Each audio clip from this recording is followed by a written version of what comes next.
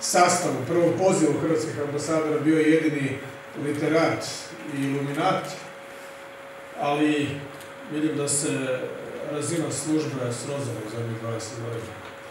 Postala je birokratska, dosadna i u velikoj mjeri svrha samo sebe. No dobro, šta je tu? To je moje opažanje. U Lipovljanju sam bio jednom, i to 2012. ako se dobro sjećam, i to ne kao predsjednik tada velike, mislim da ne tada, da me niko krivo ne shvati, tada stranke na vlasti, stranke koju sam vodio 10 godina, došao sam privatno, jedan prijatelj i ja, biciklom preko ovih bregova, preko Volodera iz Zagreba, završio ovdje u okolnom kafiću.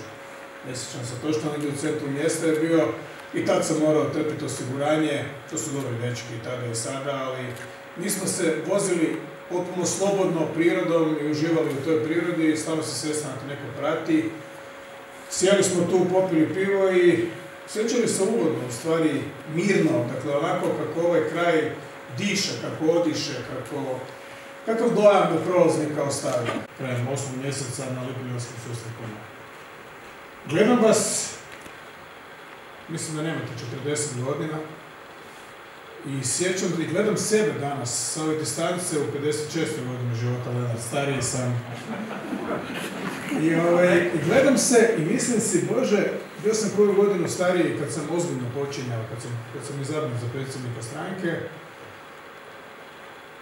Izgledam sebi mlađe i pitam se, je li itko tada mogao ozbiljno shvatiti? Je li itko shvaćao ozbiljno što ja pričam?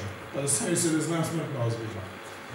Gledajući opet vas, kao ozbiljne mlade ljude, ne znam da nosite kravate, može i bez toga, ili vas, mislim si da, u stvari, ova vrsta posla bi trebala pripadati i za nju bi se trebali znati izboriti, jer to ne pada u krilo mladi ljudi, mlade žene i muškarci u svim našim sredinama.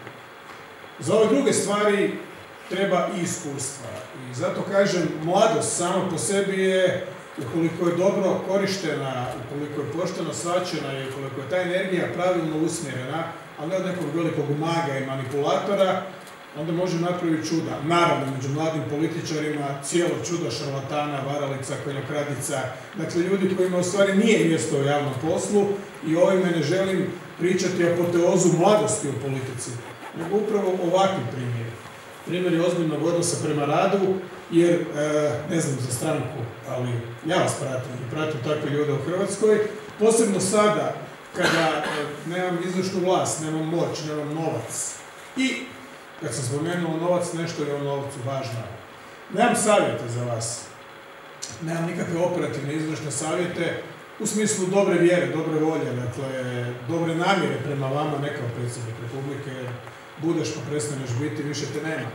Evo, gledam te proračune, gledam na šta trošite novac, gledam koliko novaca imate, gledam, čini mi se, vidim da je dosta novaca iz Europske unije i to je jako važno. Dakle, taj novac mora završiti u našim džepovima i u našim projektima. I ovdje, i u Šabru, i u Omišlju, i u svim drugim sredinama, jer mi smo sad deset godina u Europskoj uniji. Imao sam tu sreću, da je kismet, sudbenu okolnost, da govorim kao hrvatski premijer na ulasku Hrvatske u Europsku uniju. I bilo mi je drago zbog toga i sad mi nije krivo što smo ušli u Europsku uniju, ali realno govoreći, to nije svrha samom, sebi i to samo sebe ne ispunjava. Europejci, ok, Česi, Slovaci, Ukrajinci, to je tu blizu, to vam je poznato, blisko. Mada ovdje u ovom kraju, ali sad da ne napravim digresiju pa ću se zadržati na ovome, dakle, Europska unija je puno novaca. Identitet, on je različit. Duboko je različit. Između Finske i Portugale, i Škotske i Grčke. Postoji niz identiteta, niz sličnosti i jako puno razlika. Ali taj novac je u stvari najbitnije što moramo uzeti. Jer u protivnom mi ćemo uskoro postati bogata država, je tako? Tako nam govore, razvijamo se super bilo to istina ili ne, a ja želim vjerovati da jest istina, mi ćemo uskoro od primatelja novčane pomoći postati oni koji će nekome davati. Ispašćemo iz kategorije onih koji su izberivi, koji, koji, koji su kvalificirani da se pomogne. Do tada Smisao postojanja u Europskoj je, osim očuvanja dobrosusjedskih odnosa, poštovanja, mira, mira, demokracija, sve te priče, njihov, njihova uporabna vrijednost je mir, suradnja i prijateljstvo među ljudima, različitim ljudima. Ali do tada, odnosno u to vrijeme, uzmite svaki euro. To je po meni vaša glavna misija. Ideologija na lokalnoj razini. Gledajte, e, nisam najbolje pozicioniran da govorim protiv ideologije u javnom poslu. Ja sam nam vodio jednu političku organizaciju veliku i moćnu u svoje vrijeme, moćnu s obzirom na to da je pobjeđivala sa velikim brojem glasova i bila je dosta ideologizirana. U nekim stvarima malo i isključiva. Bili smo i bio sam zagovornik razno raznih prava u koja vjerujem, u koja vjerujem i dalje, u neka malo manje, ali bez ideologije nema života, ne možeš ustati iz kreveta ujutro bez ideologije.